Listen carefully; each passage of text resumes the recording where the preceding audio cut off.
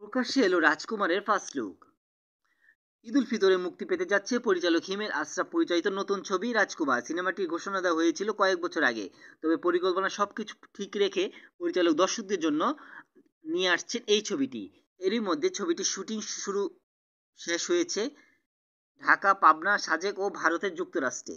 গেল বছরে হিমেল আশরাফ প্রিয়তমা সাফল্যের পর স্বাভাবিকভাবেই সবার আগ্রহ আছে রাজকুমার নিয়ে। অবশেষে মুক্তি পেতে যাচ্ছে এই ছবিটি।